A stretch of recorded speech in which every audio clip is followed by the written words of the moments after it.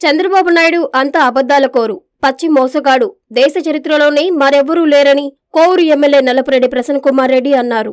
ఆనాడు అధికారంలోకి వచ్చేందుకు చంద్రబాబు నాయుడు ఆరు వందల వాగ్దానాలను ప్రజలకు ఎరవేసి మభ్యపెట్టి అధికారంలోకి వచ్చాడని తెలిపారు. అప్పుడు ప్రజలు నమ్మి ఓటేస్తే ఆయన అధికారంలోకి వచ్చిన తర్వాత ఏ వాగ్దానాలను చంద్రబాబు నెరవేర్చలేదని ఎమ్మెల్యే ప్రసన్న ఎద్దేవా చేశారు. మొన్నటి రోజున మూడు రోజులు జరిపిన మహానాడు స్టేజీ మీద నుంచి రాష్ట్ర ప్రజలకు వరాల జల్లు కురిపించి చంద్రబాబు నాయుడు నాటకాలు ఆడాడని ప్రజలేమీ అంత వెర్రివాళ్ళు కాదని నీ నాటకాలన్నీ ఎవరూ నమ్మరని అన్నారు. వచ్చే ఎన్నికల్లో చంద్రబాబు నాయుడు ఓటమి ఖాయమని ప్రజలు తిరిగి మళ్ళీ జగన్మోహన్ రెడ్డికే ఓట్లు వేస్తారని ధీమా వ్యక్తం చేశారు. ఆంధ్ర రాష్ట్రానికి మరో ఇరవై ఐదేళ్ళు ముఖ్యమంత్రి వైఎస్ జగన్మోహన్ రెడ్డి కొనసాగుతాడని ఎమ్మెల్యే ప్రసన్న ఘంటపదంగా చెప్పారు. పోయినా కూడా బ్రహ్మరథం పడుతున్నారు. జగన్మోహన్ రెడ్డి గారి మీద ఉన్నటువంటి కేసులు మాఫీకి కేంద్రంతో లాలూచి పడ్డాడంట జగన్మోహన్ రెడ్డి.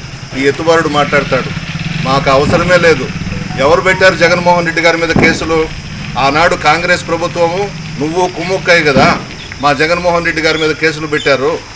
ఆ కేసులు పెట్టేవాళ్ళు కూడా ఒక్కొక్కరు ఒక్కొక్కరు చనిపోతున్నారు. అంటే కావాలని జగన్మోహన్ రెడ్డి గారిని ఎదగనివ్వకుండా కేసులు పెట్టించి పదహారు నెలలు జైల్లో పెట్టారు కదా. భగవంతుడనే వాడు చూస్తున్నాడు కదా పైనుంచి. సింహంలాగా బయటకు వచ్చాడు ప్రజల్లోకి వచ్చాడు ముఖ్యమంత్రి పీఠాన్ని అధిష్ఠించాడు.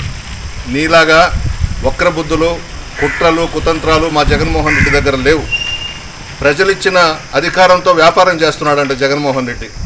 రాజశేఖర రెడ్డి గారి కుటుంబం మొట్టమొదటి నుండి కూడా వ్యాపారం చేసే కుటుంబం.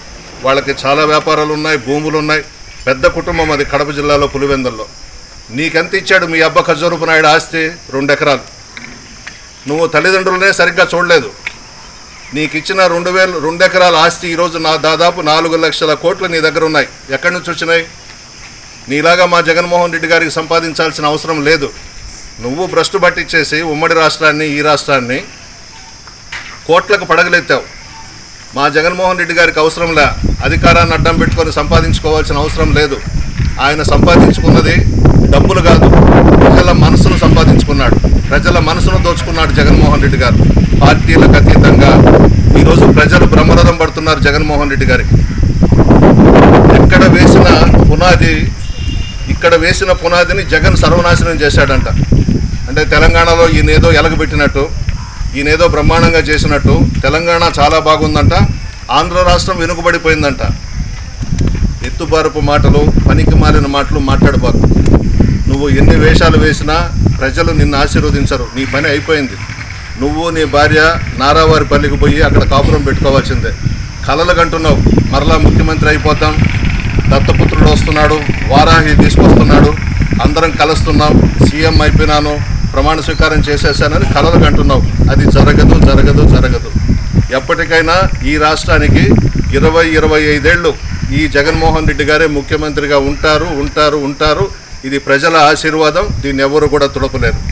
టీడీపీ మేనిఫెస్టో బాగుందని వైఎస్ఆర్సీపీ వాళ్ళు చెప్తున్నారంట. ఎవడరా మీకు చెప్పింది?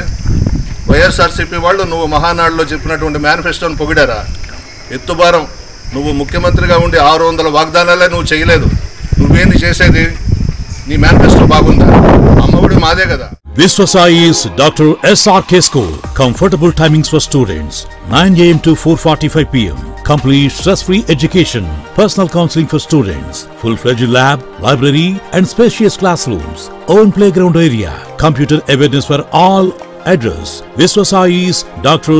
SRK School, Magunta Layout, Nellore.